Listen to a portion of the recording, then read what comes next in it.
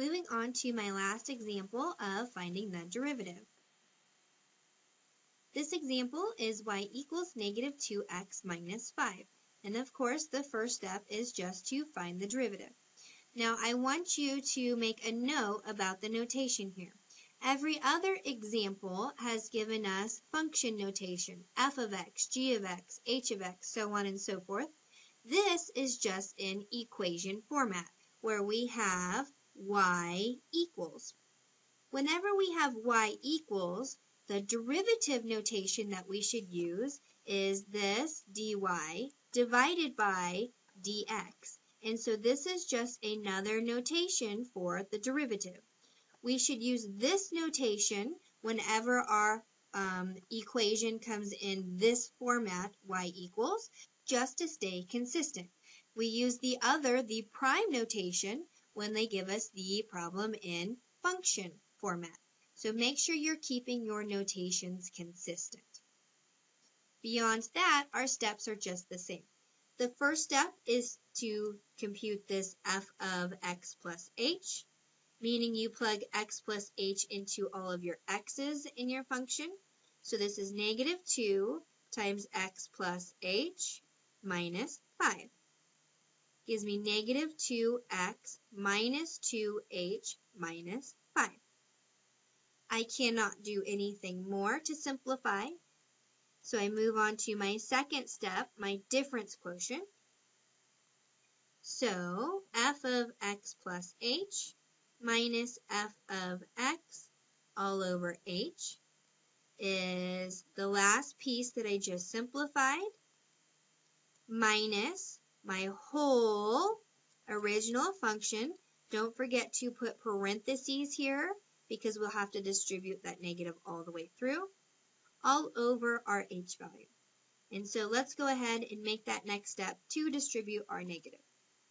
Therefore, we can drop the parentheses, and so things cancel out. My negative 2x and 2x cancels. My negative 5 and positive 5 cancels. That gives me negative 2h over h.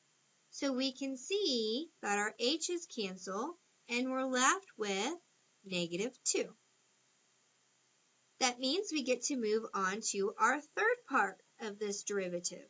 And so that is, we need to take the limit as h goes to 0. It's almost a trick question because it's so easy. We typically plug in a 0 for h, but look, there's no h here, so what does that actually mean? It means nothing. I don't have anything to plug it in for, so therefore my answer is what it is. It's just negative 2. So my notation and my answer here is dy dx is equal to negative 2. So what does that mean since there's no x value left over? Well, it means that my slope is consistently a negative 2 at any place of this function which makes sense because if we take a step back and if we look at this function here, this is a linear function, which means our slope is always negative 2. So all of this extra work here was unnecessary. We didn't need to use the derivative to come up with our slope. We should have just known that from the beginning since this is a linear equation. Okay, now let's see the applied part of this problem. So we want to find the rate of change, dy dx, where x equals x naught. Again, this is just another way of the homework trying to switch up the wording on you so you get confused. But remember, the rate of change is just a fancy way of saying slope. Dy dx, we talked about it, that's just another way of computing the derivative. And where x equals x naught or x sub 0, that's just another way of saying use this x value. So, our rate of change was dy dx was equal to negative 2. So what we need to do then is we need to substitute in our x value, or in this problem, our x naught value. Well, we need to talk about the notation shift here whenever our problem was f of x, we used the derivative notation of f prime of x, and whenever we plugged in a number like 5, we did f prime of 5. that notation was pretty consistent and so no big deals there. Here, if we need to plug in a number, our notation is a little bit unique. It uses something that you've probably never seen before. So instead of doing this of 5, what we need to do is dy dx evaluated at, and so that's what this bar here means, evaluated at, and then we use our x value, or in this case specifically our x naught value, evaluated when our x naught is equivalent to 4. So my personal belief is this is not the best notation, but did I invent it? No. So can I switch it?